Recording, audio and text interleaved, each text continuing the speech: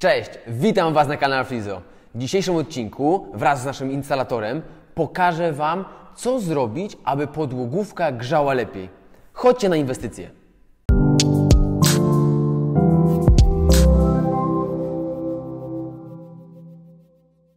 Cześć, witam Was na kolejnej już inwestycji. Tym razem znajdujemy się tutaj z Krystianem. Krystian Timler, właściciel firmy Timler Instalacje, wykonał całą tą instalację, w której się znajdujemy. Krystian, powie coś więcej o niej.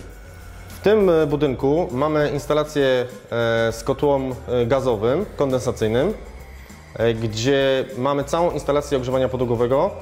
Nie ma ani jednego grzejnika, czyli cała instalacja jest niskotemperaturowa. Dobrze, na tym przykładzie będziemy chcieli pokazać Wam, w jaki sposób powinno się ustawiać przepływ na każdej z pętli rozdzielacza.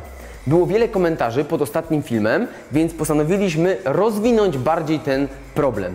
E, Dlaczego jest to takie ważne? Pamiętajcie, żeby aby dokładnie ustalić przepływ na każdej z pętli, potrzebny jest projekt, ponieważ w projekcie zawarte jest naprawdę dużo obliczeń związanych z różnymi parametrami, które trzeba wziąć pod uwagę. Zbyt duży przepływ będzie oznaczał przegrzewanie się pomieszczeń, natomiast zbyt mały y, przepływ będzie powodował nieosiągnięcie komfortu cieplnego w naszych pomieszczeniach. Zobaczcie, co musi się znaleźć, jakie parametry trzeba wziąć pod uwagę, aby wykonać odpowiednie obliczenia. Musimy wziąć pod uwagę długość pętli, średnicę rury, grubość izolacji, rozstaw pomiędzy rurkami, rodzaj e, użytego materiału, e, typ posadzki, rodzaj wykończenia podłogi, przeszklenia, kubaturę pomieszczenia, strefę klimatyczną, krotność wymiany powietrza, ilość mieszkańców, temperaturę czynnika grzewczego, zmiany temperatury w pomieszczeniach związanych z przeszkleniami oraz rodzaj całego medium grzewczego. Na tej instalacji takiego projektu nie mamy, dlatego teraz pokażemy Wam dwie metody, jak można wyregulować przepływ. Pierwsza metoda, metoda prób i błędów oraz druga metoda, rekomendowana przez nas, bardziej efektywna. Teraz, Krystian, powiedz mi, na jakim etapie znajdujemy się z naszym rozdzielaczem?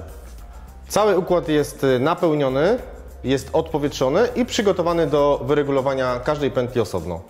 Dobra, nie przedłużajmy, chodźmy, pokażemy Wam, jak trzeba nastawić przepływ na każdej z pętli. Dawaj, Krystian. Na pewno zauważyliście, że Krystian wykorzystał nasz rozdzielacz z poliamidu. E, Krystian, był to Twój pierwszy raz z tym rozdzielaczem, czy używałeś już go wcześniej? Nie, e, kiedyś montowałem rozdzielacze mosiężne, ale jak zobaczyłem na targach e, kiedyś e, rozwiązanie Afrizo z rozdzielaczem Procalida, bardzo mnie zainteresowało z kilku względów. Pokażę Wam teraz dokładnie o co chodzi. W zestawie z takim rozdzielaczem dostajemy w zasadzie kompletny do montażu zestaw. Zawory odcinające, możliwość zastosowania kolanek, czyli wersji kątowej, z uszczelkami, półśrubunki, zestaw odpowietrznik automatyczny, termometr i jedną z najważniejszych rzeczy, które są zastosowane w tych rozdzielaczach, zawór napełniająco-spustowy, obrotowy. Rewelacyjne rozwiązanie ze względu na to, że jeżeli mamy bardzo mało miejsca przy rozdzielaczu, możemy podejść sobie wężami i bardzo ładnie napełnić i odpowietrzyć cały układ. No dokładnie tak jak pokazywaliśmy to na ostatnim filmie, nie? E, A powiedz mi, e, jeszcze jakieś zdecydujesz zastosowanie? Bo ja również słyszałem, że jest problem z zakupem rozdzielacza na więcej niż e, 10 obwodów, 10 pętli. My tu mamy 12. Tak, tutaj nie ma problemu z tym, bo nawet jeżeli będziemy mieli e, rozdzielacz z obwodami e, powyżej 12, możemy sobie e, powiększyć o ilość obwodów tyle, ile chcemy, za pomocą rozszerzenia dodatkowego. No, możemy sobie po prostu dokręcić y, każdą pętlę osobną, wystarczą dwa obroty w zasadzie i mamy w całości to odpowietrzone i zawsze możemy sobie na samochodzie trzymać i dokręcić odpowiednią ilość obwodów, jaką potrzebujemy. Dobra, przejdźmy teraz do nastawy. Widzę, że mamy przepływy y, zamknięte. Otworzymy przepływy i w pierwszym kroku w metodzie prób i błędów postaramy się uzyskać taki sam przepływ na każdej z pętli y, podłogówki. To będzie nasz y, wyjściowy element całego ustawiania. Dobrze, układ mamy e, napełniony i odpowietrzony. Włączona jest pompa obiegowa. Odkręcimy zawory główne. rotametry nam się ruszyły i spróbujemy wyregulować tak, żeby było równo na każdym. Dokładnie i też były też takie głosy, ile musiało być ustawione, tak? Bo tutaj na przykład mamy na skali od 1 do 3,5 litra na minutę, taki przepływ. Oczywiście e, musi być ustawione to w przedziale od 1 do 2 litrów na minutę. Powinno być, tak? Ważne jest, aby starać się ustawić na każdej pętli taki sam przepływ. Ważną również kwestią jest, odpowiednie opisanie każdej z pętli, tak aby wiedzieć, że w momencie, kiedy będziemy przykręcać daną pętlę, odpowiada to jakiemuś e, pomieszczeniu. E, Krystian, moim zdaniem w zasadzie jeżeli ustawimy równy przepływ na każdej z tych pętli, to rola instalatora się kończy. Teraz Tak, dokładnie. Mm, Po ustawieniu tego przepływu na każdej z pętli musimy poprosić y, mm, użytkownika o e, dodatkową regulację e, w późniejszym czasie e, metodą prób i błędów. Metoda prób i błędów e, polega na tym, że w sezonie grzewczym, e, jeżeli w którymś z pomieszczeń będzie zbyt wysoka temperatura, po prostu musimy podejść i zmienić sobie przepływ na mniejszy. Powiedzmy około pół litra. W przypadku, kiedy w pomieszczeniu będziemy mieli przegrzew, robimy to samo, ale odwrotnie, czyli zmieniamy przepływ. Tak jest. E, Całość wymaga czasu, musicie wiedzieć. To nie jest tak, że jeżeli zmienimy tutaj przepływ, to za pół godziny będzie zmiana, ponieważ podłogówka charakteryzuje się dużą bezwładnością, czyli potrzebujemy dużo czasu, aby uzyskać tą zmianę temperatury w naszym e, pomieszczeniu. Jednak musimy pamiętać, że raz dobrze ustawiona, e, ustawione przepływy na każdych z pętli gwarantują nam komfort ciepły przez wiele lat. I przechodzimy płynnie do drugiego sposobu, naszym zdaniem lepszego, optymalniejszego, dzięki któremu zaoszczędzimy na paliwie. Krystian, powiedz jaki to sposób. Drugi sposób jest z wykorzystaniem siłownika termoelektrycznego, który nie będzie nam regulował przepływu na poszczególnej pętli ogrzewania podłogowego, ale będzie nam otwierał lub zamykał przepływ w zależności od uzyskanej temperatury w pomieszczeniu. Pokażę Wam, jak go założyć.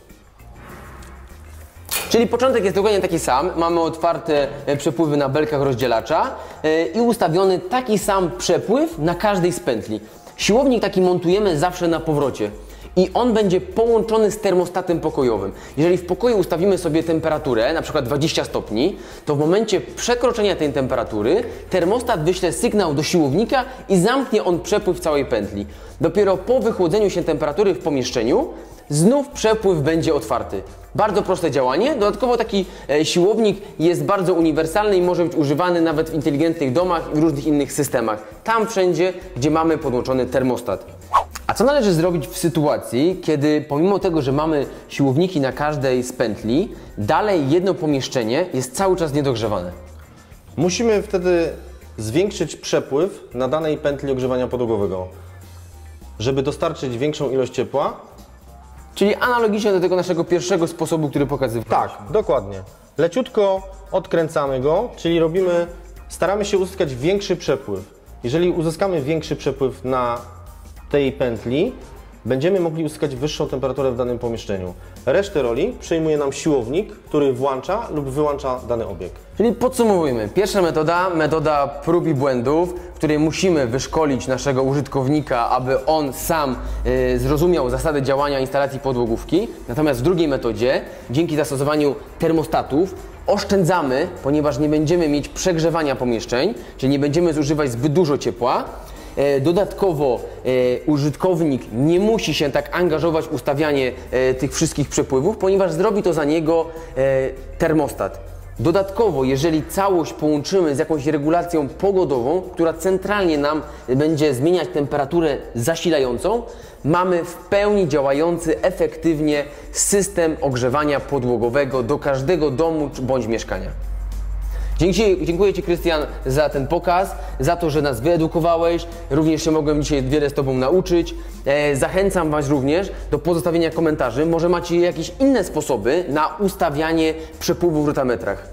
A w tym momencie proszę Was o zostawienie łapki w górę dla Krystiana, e, dla jego firmy. Trzymajcie za niego kciuki, aby został wkrótce naszym Afrizo ekspertem. Jeżeli Wy chcecie zostać Afrizo ekspertami, napiszcie na maila ekspertmałpaafrizo.pl. Dziękuję Wam za uwagę. Do zobaczenia za dwa tygodnie. Dzięki, cześć.